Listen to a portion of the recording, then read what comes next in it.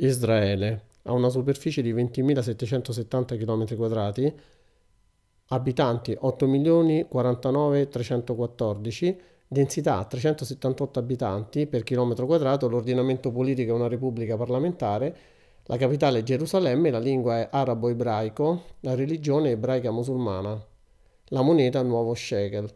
Israele è una striscia di terra lunga 470 km e larga 135 confina a nord con il Libano, ad ovest con il Mar Mediterraneo, a est con la Siria, a est con la Giordania, a sud con l'Egitto e con il Mar Rosso. Inoltre confina con la Cisgiordania e la striscia di Gaza che rappresentano la Palestina.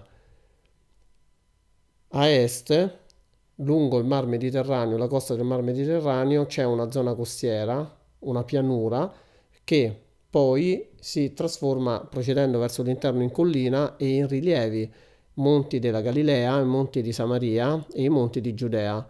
Poi c'è il Mar Morto, che è un lago salato 400 metri sotto il livello del mare, il fiume Giordano che forma il lago Tiberiade e a sud il deserto del Negev e eh, ancora più a sud il Mar Rosso.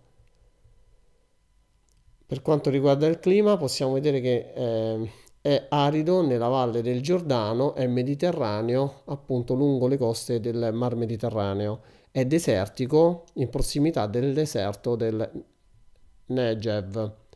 La popolazione è costituita da israeliani, c'è un'alta concentrazione sulle coste verso il Mediterraneo e è spopolata nella zona del deserto del Negev. Il 75% della popolazione è costituita da ebrei di religione ebraica e lingua ebraica, il 20% da palestinesi di religione musulmana ed etnia araba e lingua araba.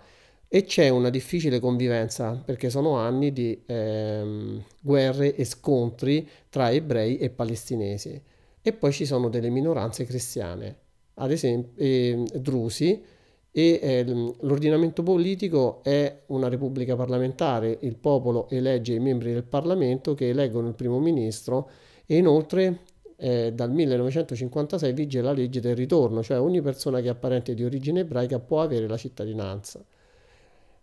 Allora, la capitale è Gerusalemme, che ha 800.000 abitanti, che è città sacra però non solo per l'ebraismo, ma anche per il cristianesimo e l'Islam. Gerusalemme Est, infatti, è considerata dai palestinesi la loro capitale.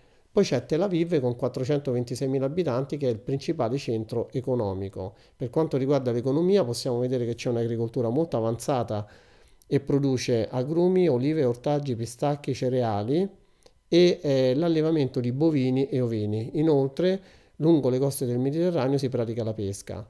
Per quanto riguarda l'industria, importante è il settore chimico, farmaceutico, elettronico, informatico e aerospaziale. E inoltre ci sono servizi commerciali, bancari e finanziari. E c'è il turismo religioso.